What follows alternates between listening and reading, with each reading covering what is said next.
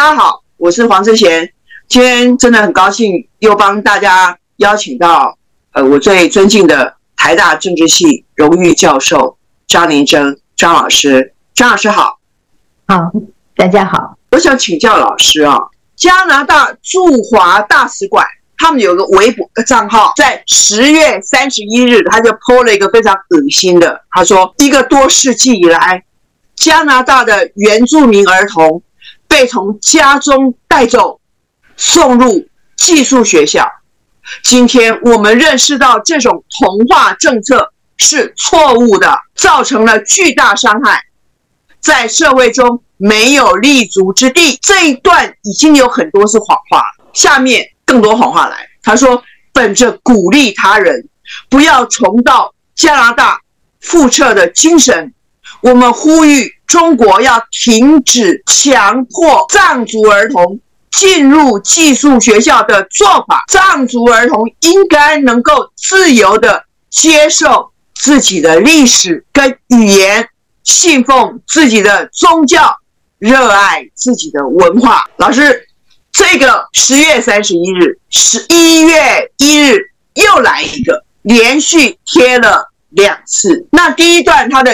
谎话就是说，他没有讲强迫，他只是说，啊，被从家里带去送入寄宿学校，帮他美化。然后第二个，我们是最近在那个寄宿学校里面找到大量的儿童的尸体，那表示小孩在里面是被杀的，他也不提。第三个，这个也不只不只是童话政策，这是文化灭绝、种族灭绝。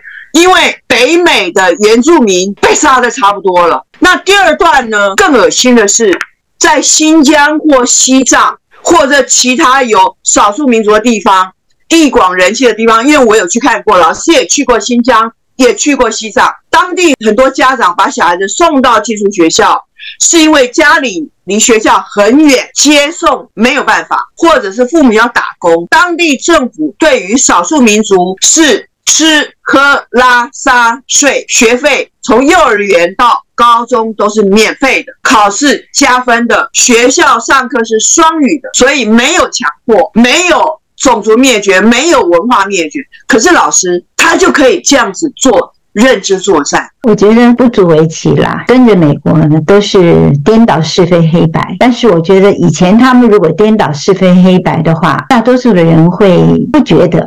觉得他们讲的都是对的。今天呢，我觉得美国人讲话、加拿大人讲话，到底他们的可信度有多少？其实啊，世界人民的眼睛都是雪亮的，因为现在的传播的力量太大了。我们每个人都有只手机，总有人会把所看到的摄下来，然后传到网络上去，大家都看得到。所以呢，现在美国人。想要一手遮天来推行他的这些谎言，这个扭曲黑白的、颠倒黑白的价值观呢，大概就是没有多少人会相信。如果有很多人会相信的话，今天就是美西方就不会变成少数。今天美国和西方，你给他打包捆起来一算，就是四十来出头的国家，那广大的大概都是站在美西方的对立面的。那现在不仅仅是。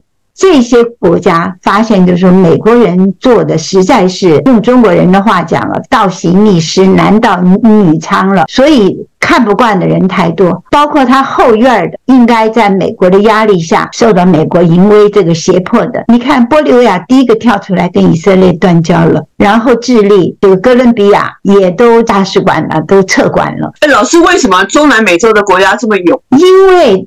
他们看得最清嘛，他们跟美国最近了嘛，他们深受着美国这种殖民的压榨剥削是几百年了。在以前拉丁美洲的政治，非常的不稳，就是美国那只手在里头搞，所以在那个拉丁美洲政变是家常便饭。所以拉丁美洲其实对美国的感受啊，是最有切肤之痛的。那现在不仅仅说是拉丁美洲了。现在经过这个乌克兰的战争，经过以巴的冲突，啊，以哈的冲冲突，我们看得更清楚。不仅是第三世界人看得很清楚，你看所有的伊斯兰国家四十几个，他们都是天生的，因为美国人打压伊斯兰这个宗教，欺压巴勒斯坦人。